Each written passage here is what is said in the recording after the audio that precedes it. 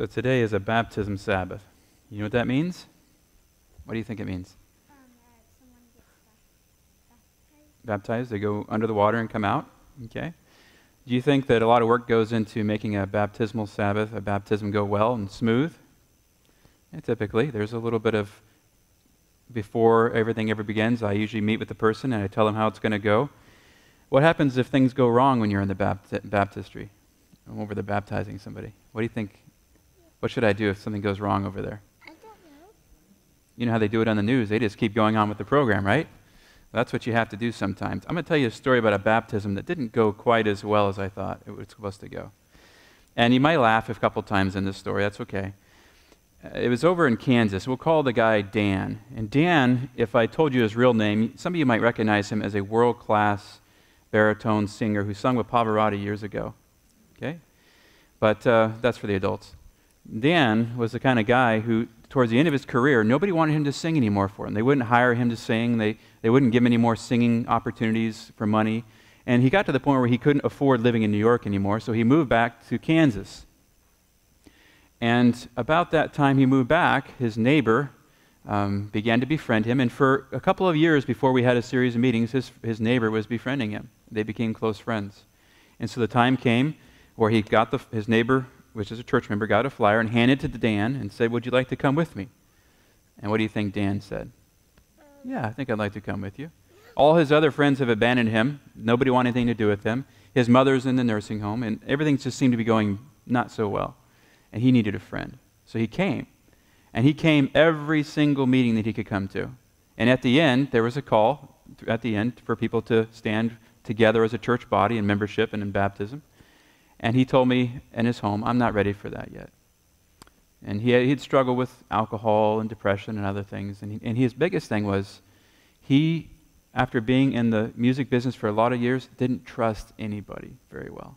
It took a lot of time. It took two years just for him to trust his neighbor. And so he's like, I'm not sure if I can trust God with some of the problems I have. Now, you know the answer. We should trust God, right? But it took him a while. In fact, I, I flew out to Northern California to interview to become a pastor out here, and he heard about it and, and found out I was going to be moving out here. And so he called me on the phone and said, The real issue is not whether I trust God anymore, because a month or two had gone by of studying with him after the meetings. The issue is I'm afraid of water. Okay, so he went from taking care of trusting God to now he told me the issue that's left over is I'm afraid of water. I said, Don't worry, I'll come over to your house and, and I'll show you how it's done. We could do a dry run in your house. And, and so we, we went, I went over to his house and I told him how to do it. And then I said, well, Why don't you come over to the church? We'll do it in the church too, just without any water. So we did that too. It, everything was taken care of, right? Perfect. You know, they hadn't had a baptism in that church probably for six or seven years. In fact, they hadn't met in the sanctuary of that church. It was oh, a little bit narrower than this, but they had a tall ceiling, not quite as tall as this, but pretty tall. And they hadn't met in that sanctuary for over 10 years. Yeah, they met in the fellowship hall because they were so small. There was eight of them. Well, by the time the end of the meetings happened, we had, we had gone from eight to like 50, uh, about 20 people. And there were some other people came that watched the baptism. So we had 25 people there the day of the baptism. And we met in the sanctuary, and their baptistry was behind the pulpit, right over here, this type of area. Okay? Well, they didn't have quite the stairs we have over there. They had metal stairs that went into the baptistry. So the baptistry was there, and they had stairs behind the wall that you couldn't see. And I went down the stairs. They were blue metal stairs. I still remember the color of them. And they had this little strip on each stair, but it didn't help. I slipped on the last couple of stairs. Okay? Now, that's not the, really the main funny part. Funny part is, here's this guy who's afraid of water. He sees the pastor slip, and I can see him up there. He's up the stairs, and he's like, is, he, is there, he, was, he was nervous, and it got even worse. First step he took, he slipped from almost the top stair, and he fell and hit his rear end on the stairs. And the whole congregation goes, oh, you know, because the curtain was open. And I'm thinking, oh, no. Uh, and they, some of them started laughing a little bit because it was kind of humorous to, to see this. And then they recovered themselves. And I said, Are you okay? You know? And he said, Yeah. I said, You want to file a claim when we're done yet? As a pastor, you try to make sure everything's covered. And he said, No, I'm fine. And so get him in the baptistry. And, you know, you put their arm right here. So you take their arm and you put it right there. Hold, hold on right there. Hold on right there. You take this other hand, you turn it over like that. You give them the, you give them the little handkerchief, and they're supposed to cover their face when they're ready. So then I know that they're ready. So I say a few words, and I'm like, Dan, because your love for the Lord and you want to follow him all your days, I'm going to baptize you in the name of the Father, the Son, and the Holy Spirit. Bend your knees. And he didn't bend his knees either. And then he just said, Do it. He, he started bending over backwards, and I, I put him under, and I knew he took a breath as he was going under. And he came up, and this whole fountain came out, this water. now I got a real problem, don't I? Shut the curtain, shut the curtain. I'm telling the deacon. The curtain's closing. I said, I invite you guys to have prayer as we prepare for. and I said a few words. Curtains closing, and he, you can hear him coughing and coughing. I got him back to the back room where he's changing. Finally got him ready, and guess what he's supposed to do after the baptism? He wanted to sing a special music song. He's hacking and carrying on the whole time he's getting dressed back there, and I'm like, okay, Lord, how can he? He's practiced all these couple of weeks leading up here for this, and now he's got water in his lungs, you know. So I'm like, okay, Lord, take care of him. He gets out, he coughs a little bit more as he gets out to the front of the church. And then he just calmly begins singing. And it's the most beautiful song. Amazing Grace, he sang. Amazing Grace, how sweet the sound that saved a wretch like me. And he goes through the whole thing, and it's echoing across this church because he needs no, no microphone. His voice is just tremendous. And after he's done, the whole group of 25 goes, Amen. And of course, we have prayer with him, with the elders. And there was Dan. And I got pictures of him on Facebook every once in a while. Um, he's still alive. In fact, I called him the next day and I said, Do you want to file a claim? You know, you remember now. We can go through this. And he said, No, no, I'm fine. My, my rear end hurts a little bit, but I'm fine. And we were friends until we moved out to here, and I've stayed in touch with Dan. But Dan had two things. One, he had to learn to trust God, right? And through that trusting God, he became a new person. I mean, he, he was totally different, especially uh, leading up to that baptism and after that baptism. God had helped him trust people again, it helped him trust God again. He got over his fear of water, even though he almost drowned because the pastor put him under the wrong way. And there he was, trusting God. So the story illustrates how we can trust God. How maybe there will come times in life where we need to have some changes in our lives. We can trust those to Him. And we're going to find a story later on in our sermon about another guy who didn't quite trust God all the way for a while. So I want to encourage you to trust God no matter what. Father in heaven, thank you so much for your love. Thank you for uh, Jesus, who is our fountain of life and love. And he tells each one of us that we can trust you. And thank you so much for those words that he brought us to testify of the Father. And thank you for the story of Dan that reminds us we can trust each other, we can trust you, and you can make us a new person. Guide us each to be that person day by day, even when we make mistakes. Forgive us and help us to start over and help us to be the people you'd have us to be all the way to the new earth. In Jesus' name, amen. So there's no sheet today.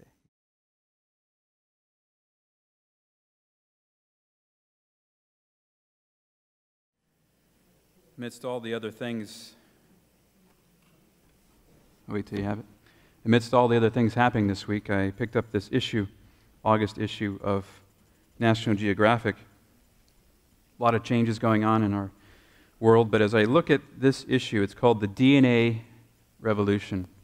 It has a, a question here. It's a whole article about how they're trying to really deal with mosquito problems and disease and a lot of things that are going on that kill people in our society by changing the DNA structure of some of these things, all the way down to the genetic level. And, and I can't quite honestly say I understand it all. I understand the main point, which is they're trying to use science to make life better. And some are saying it's pretty controversial. But as I read this, DNA revolution, with new gene editing techniques, we can transform life, but should we? We can transform life, but should we? I'm not totally convinced as I read the article that we were really transforming life. We were, we were adapting it, making it better but it didn't deal with the moral issue. And before we begin, let's pray and ask God to guide us as far as how we can be transformed. Father, thank you so much for your love. Thank you for how you sent Jesus, the way, the truth, the life, who can transform each one of us into the children you'd have us to be. Even all the disease and things that we have going on, we're thankful for the science that's trying to combat it, but we know that there is a disease in our hearts that we also need your help with day by day. And so guide us with the Holy Spirit to see that now, I pray. In Jesus' name, amen. So as I looked at this DNA revolution and as I read about all these different wonderful ways that they were trying to combat our disease and our society, the real question came back to me, especially this morning as I was looking over it again. Can it really transform lives? I know it can help with the disease. I know it can help with what this sinful world has dealt us as far as a lot of troubles.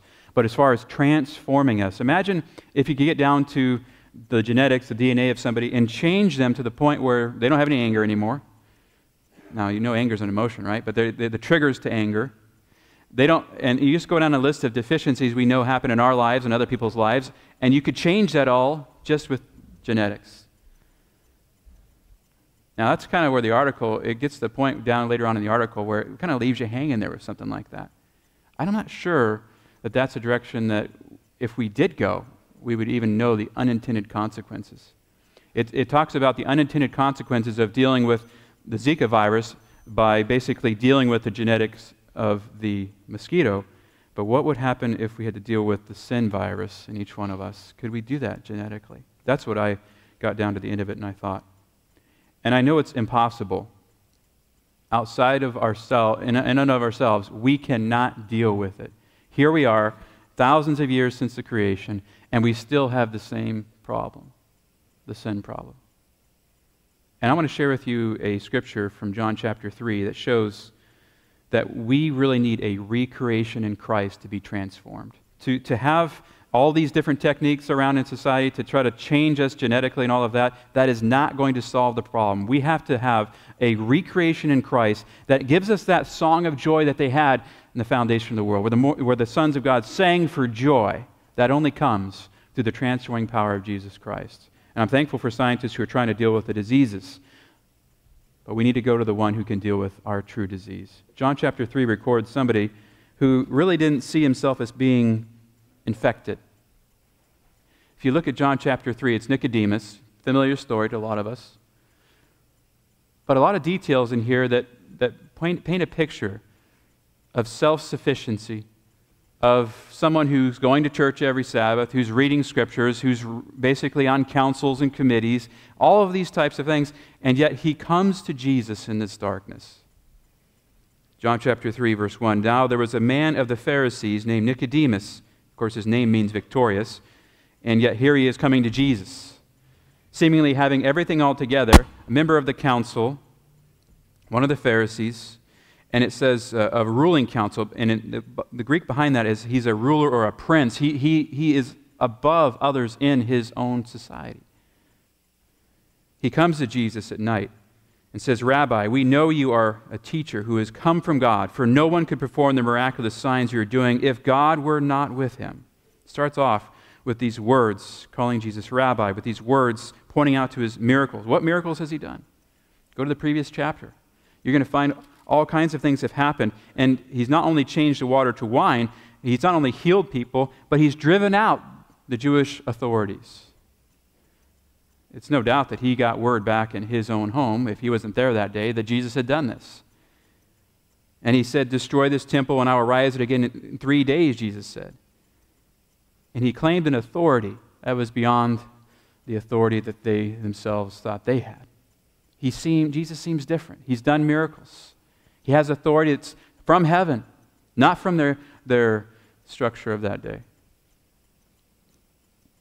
And as he comes Nicodemus comes and says, You couldn't do these things if, it were not, if God were not with him.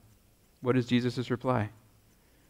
No one can see the kingdom of God unless he is born from above. Born again in some translations, but the Greek says from above. Now, there's only one person in the scriptures, as far as I can tell, at least in this regard, who is, has been truly from above, who was born one of us, and that's Jesus. This is the one that Nicodemus comes to in that night scene.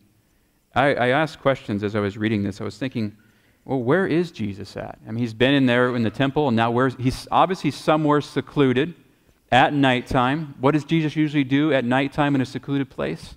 He's praying. And here comes Nicodemus.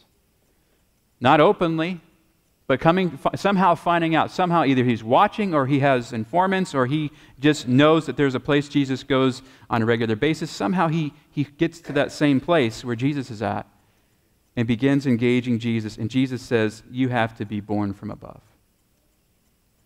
Now that's a statement that a gentile could be told because a gentile when they became a jew converted to judaism they would be seen as basically children of the Word. They would, they would be needing the milk. That's what Paul later on describes new Christians.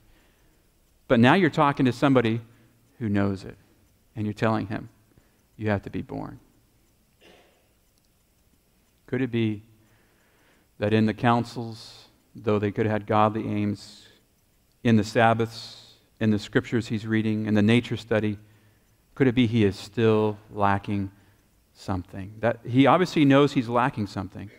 And Jesus points right to it and says, You have done and gone through all the motions, but you still have to be born from above. That's how you receive that authority. That's how you receive, that's how I've been doing these miraculous signs. And he says, How can a man be born when he is old? Focusing just once again on the horizontal here, not on the up in heaven. Surely he cannot enter a second time into his mother's womb to be born. And Jesus answered, I tell you the truth, no one can enter the kingdom of God unless he is born of water and the Spirit. Flesh gives birth to flesh, but the Spirit gives birth to spirit. You should not be surprised at my saying, You must be born again. Spiritual birth, Nicodemus. You must be converted. That's what those people that came to Judaism, they were converted to it. He's telling him, You must be converted from above. Be honest with ourselves. Isn't it a daily process? You know? And yet, here he is, coming to Jesus. He knows he has a lack. And Jesus later on is going to call it a poison, basically. And he tells Nicodemus, This is a spiritual birth you need. And notice the words he uses water and the Spirit who has Nicodemus seen somewhere before the time of Jesus came on, coming on the scene that dealt with the water and the Spirit? It's John the Baptist. I need to start reading previous chapters. The land has been exposed to it. The Pharisees send people to, to question John. All of this is taking place. He has disciples who are going and baptizing. And so, why hasn't Nicodemus been baptized? Obviously, Jesus is pointing out a deficiency here. You heard John's preaching. You saw the sinners and tax collectors come and go ahead of you into the kingdom. You need to be born from above and converted, even though you think you have everything all together. And he points out to the water and the Spirit. That was a means. This idea of turning and, and submitting your heart to the Lord, surrendering yourself to Him, that's what he really needed to do. And then he says an illustration The wind blows wherever it pleases, you hear its sound but you cannot tell where it comes from or where it is going. And so it is with everyone born of the Spirit. And immediately his mind is drawn, if you will, in his imagination to situations where there you are, sitting there, you're watching the wind blow and you're watching its effects, and you hear its sound, and it's almost like it has an effect on you. He's trying to point out that you don't always see what's happening, Nicodemus, but it has an effect on you. That's why you have come here today. Don't just take my word for it. I was reading Desire of Ages.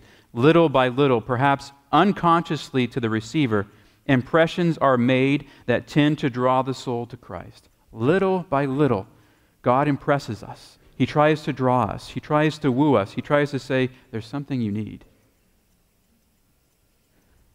And then these can be received through meditating upon Him.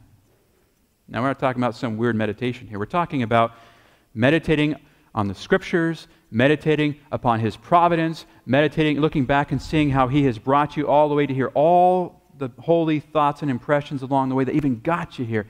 That's what she's talking about. These may be received through meditating upon him, the scriptures, and even the preaching of the word. Suddenly, the soul gladly surrenders itself to Jesus. That's the wind blowing.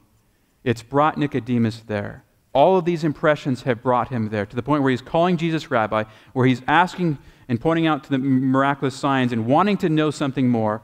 And Jesus points to the wind and says, You have not really been brought here yourself. Uh, God has brought you here. Doesn't it remind you of something in the Old Testament? Water and the Spirit, and you have the wind blowing. Doesn't it remind you of some creative moments?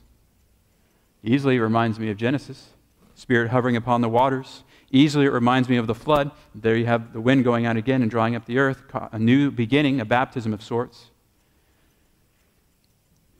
He's telling Nicodemus, You must be recreated in me.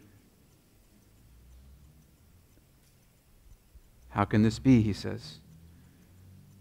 You're Israel's teacher, said Jesus. And do you not understand these things? I tell you the truth. Verse 11. We speak of what we know and we testify to what we have seen, but still you people do not accept our testimony. I have spoken to you of earthly things, and you do not believe. How then will you believe if I speak of heavenly things? You've seen the miracles, you've heard my teaching. What then if I reveal more to you? No one has ever gone into heaven except the one who came from heaven, the Son of Man. I'm telling you the truth, is basically what Jesus is saying. I know what I'm talking about. I came from heaven. Now imagine you've come to the teacher for, because you've seen all of these things, and now all of a sudden he's basically telling you of divinity, that he's from above. It would be a challenge, wouldn't it, at first? And then he points to a familiar story. Just as Moses lifted up the snake in the desert, so the Son of Man must be lifted up, that everyone who believes in him may have eternal life. He could have just stopped right there. The whole story behind that their complaining, their rebellion, their enmity with God, causing the, the snake to come and to, to bite them, these snakes to all of a sudden appear, these venomous snakes, causing them to die. Plague of snakes. And the way that they would overcome it would be uh, by looking to an upraised snake. And what is Jesus call, calling Nicodemus to do? He says, just as Moses lifted up the snake, in the desert, so the Son of Man must be lifted up. In other words, Nicodemus, your breakthrough will come when you look to the Son of Man being lifted up. And that's exactly what we find history recording for Nicodemus. His breakthrough doesn't come this night. He even hears the beautiful words God so loved the world that he gave his only begotten Son, that whoever believes in him should not perish, but have everlasting life. In other words, Jesus is saying, Believe in me, trust in me.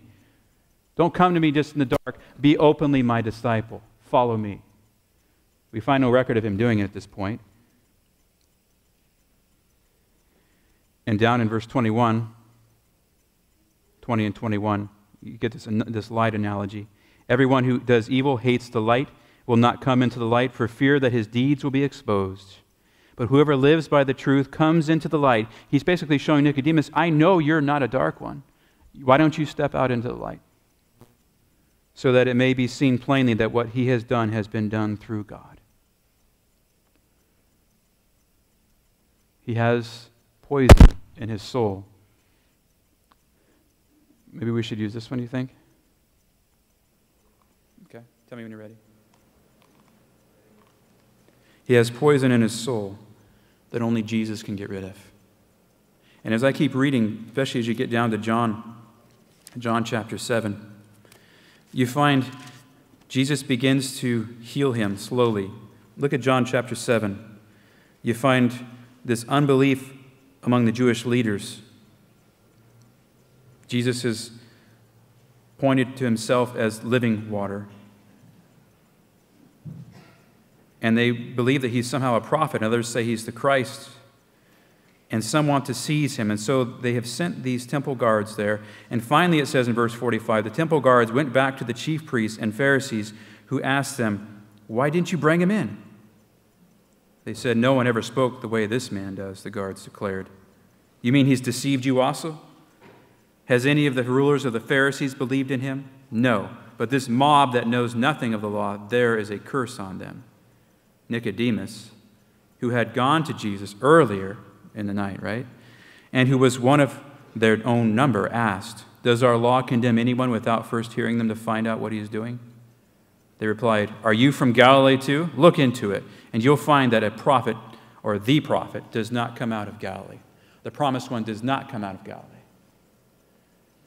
Of course, they neglect the other evidence of the shepherds. They neglect the evidence of those from the east. They neglect the whole idea of what happened with Herod. They, they forget a lot of details that surely were in some of their archives somewhere. Because some of them did go to Herod years before.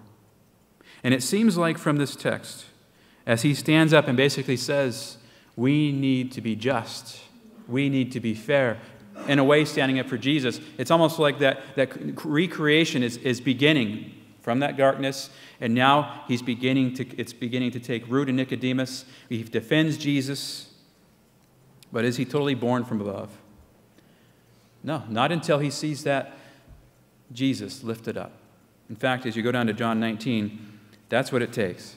There's no direct evidence saying that he was right there at the cross.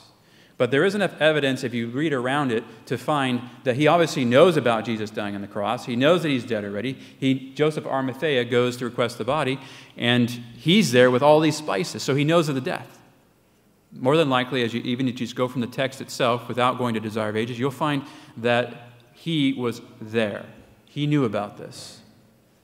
And imagine then him seeing Jesus the miracle worker, Jesus, the prophet with beautiful words of love and life, Jesus, the one whom he stood up for in that council, Jesus, the one who basically, in the darkness, they went through a mock trial and began to persecute and beat this man to death, being lifted up. Wouldn't those words of Jesus then come back to him when you see the Son of Man lifted up? Just as Moses in Moses' day, there was the serpent, and he points him to the Son of Man being lifted up as the sign. The words of Jesus would have come back to him. The words of Jesus would have been echoing in his mind. The words of Jesus would have become sort of a creation song of joy that all of a sudden, yeah, he was the one. And we're going to prepare his body. And maybe some other words would come to mind eventually from Jesus' statements. Maybe he'd hear from the disciples the idea of the third day. Maybe something would boil up within him because here he is at the burial of Jesus in verse 38 of John 19. Joseph comes, asks for the body. He was a disciple of Jesus, but secretly. But here you find no real reference to Nicodemus secretly coming. Joseph basically asks for the body with Pilate's permission. He comes out of the, out of the darkness, asks for the body. Verse 39 he was accompanied by Nicodemus, the man who earlier had visited Jesus at night. Refers right back to that whole situation. Now they're both there. And he's packing these 75 pounds of spices around. I mean, someone's got to notice this. Pretty much an open act of devotion to Jesus. Taking Jesus' body, the two men of them wrapped it with the spices. This was according to the Jewish burial custom. At the place where Jesus was crucified, there was a garden, and in the garden, a new tomb. And we're told from other parts of, of Scripture and the Desire of Ages that basically Joseph gives his tomb. I mean, so what do we have here? He's been born from above. Something has happened in his heart. Now he's openly serving Jesus, seemingly too late, as the story seems to be indicating. And the narrative kind of goes along, and there he was at night, and now here he is openly. He's dead, though. But imagine the joy of Nicodemus on the resurrection morning. Imagine the joy of Nicodemus as he begins to hear the reports of Jesus being resurrected. Imagine the joy of Nicodemus, who I believe more than likely was one of those followers in the upper room and beyond, one of the ones who maybe even helped convince priests we get in the book of Acts. Imagine the joy that he had after Jesus was resurrected. And we have a change that's taken place. He's been born from above, he's been recreated. This whole beautiful song of creation that Jesus has offered to him through the water and the Spirit is on his heart. And it's because he saw Jesus lifted up.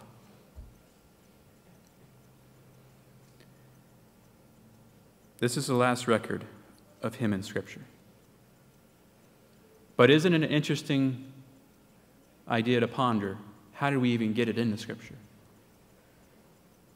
Surely it was a story that was told. John, one of Jesus' close disciples, uh, got to the point where he heard the story, writes it down, and here we are, thousands of years, almost 2,000 years later, reading this story this morning. This is an amazing text. His experience basically continued. We're told from historical sources that or at least some traditions, that he sold all and gave it to the cause of Christ. He sold everything. Openly witnessing for Jesus, even though it made him worldly destitute. And so I believe Nicodemus, his story is our story. Because as you go down to Revelation chapter 5, this is where we get the creation song idea, the new creation in Christ song. Revelation chapter 5, verse 9. They sang a new song, speaking of the Lamb. You are worthy to take the scroll, to open its seals. Revelation 5, verse 9. Because you were slain, and with your blood you purchased men for God from every tribe, language, people, and nation. It's a song, a worldwide song. You've made them to be a kingdom and priests to serve our God, and they will reign on the earth. Then I looked and heard the voice of many angels, so not just the ones who've been saved, the 24 elders, but notice innumerable angels begin singing song. They encircle the throne and the living creatures and the elders. In a loud voice, they say, Worthy is the Lamb who was slain to receive power and wealth and wisdom and strength. Slain, yet he's going to receive all of these things honor, glory, and praise. And then I heard every creature in heaven and on the earth and under the earth and on the sea and all that is in them singing to him who sits on the throne and to the Lamb be praise and honor and glory and power forever and ever. And the four living creatures said, Amen. And the elders fell down and worshiped this cosmic worship scene. And what is the song that they are singing? Worthy is the Lamb who was slain. He saved us. It's like a recreation song, if you will. We, we, have, we find the, the angels singing for joy at the beginning, and now you find down at the end this beautiful song remains, this new song of creation in the Lamb. Desire of Ages, page 171, says Nicodemus related to John the story of that interview, and by his pen, John's pen, it was recorded for the instruction of millions. That's us. God intended for the story to go down through time, for us to be in this number right here singing this song. And here we are reading how it can be done if we're born from the water and the Spirit. The truths that were taught as important excuse me, the truths they're taught are as important today as they were on that solemn night in the shadowy mountain when the Jewish ruler came to learn the way of life from the lowly teacher of Galilee. And so he was recreated in Christ. And so I believe he will be in that number that sings that song, and I want to be in that number that sings that song. Because the other option is pretty dismal, isn't it? Imagine seeing the Lamb come on a white horse, symbolizing victory, which was Nicodemus' name, right? And here he comes in the clouds of glory, and there's a sharp two edged sword coming out of his mouth, according to Revelation. It's a picture of judgment, it's a picture of how we are judged. We're judged by what comes out of the Lamb's mouth, by out of Jesus' mouth. Sharp two edged sword, the words of God, if you will. We know Scripture is referred to as that. So we need to know the words of Jesus. We need to be intimately acquainted with the words of Jesus if we're going to sing this song here. Otherwise, it looks like a sword when it should be beautiful words of life. And so, as I think of Nicodemus and his beautiful transformation and how he'll probably be amongst us, Lord willing, if Lord is the judge, I know he's, he's seen fit to reach out to him and impress him. Then, what about us? Will we be in this recreation song? I hope so. And today we have a symbol of what Jesus hinted at. He hinted at baptism, but the Spirit also working in the life that brings about that baptism. And there comes times in our lives where we're told that we probably should think about being rebaptized, some of us. As if you've drifted away, the call is for you today. If you've come back, praise the Lord. We're singing this song together today of creation in Christ. If you're here today and you say, you know what, there's something in my life I need Him to recreate in me a clean heart with, then bring that to Him today as you see this symbol being worked out. But I want to bring Melanie up here, and some of you know Melanie, most of you do. Um, and for those of you who don't know, we began a follow up series to the Shadow Empire, and then another follow up series called Revelation, Hope, Meaning, and Purpose. And as as we had that follow up series, um, Melanie came, and I don't even think you missed but one time, maybe. Two? Okay, two times. And if you've been to that series, you know what I'm talking about. It's presenting, it's showing you Christ in every chapter of Revelation and taking you back to the land of John and bringing lessons for us today. And so, uh, Melanie and I had, have studied since then, and we've gone through some things and reviewed some things, and God has given her victory in a lot of ways. I stand before you saying that just honestly, God has, has granted her victory, and she has come back through those meetings, but she'd like to be rebaptized today. And the board's already voted it. I, don't, I didn't even need to take it as a vote. If you're a member and you want to be rebaptized, you can bring it to me and we can work it out. But I, she wanted to share some things, part of her story with you. Thank you. Good morning. I was baptized for the first time when I was 10 and and since then um, I've gone very far away from the church. Um, at one point, I had gone so far away that the Lord had come to me in a dream, and in this dream, I was standing on earth and I was watching my family go to heaven. And that scared me so bad that I woke up and I prayed. And from then on, I have prayed. And the Lord brought me home in July of this year because He knew that I needed to come back to Him. And thanks to those revelation seminars, my mom had come home one night after the second meeting, I believe, and she was just telling me about them, telling me, you know, about the history that, that goes into them. And I love history. And I said, you know what, I, I, I think I might want to come. You know, I think I might want to see what this is about. And it seems like ever since, ever since then, everything that has happened in my life um, up until today has literally led me here led me to being, being rebaptized, led me to loving God more and trusting in Him a lot more. And thank you, Mom, for telling me about those meetings. uh, honestly, if it weren't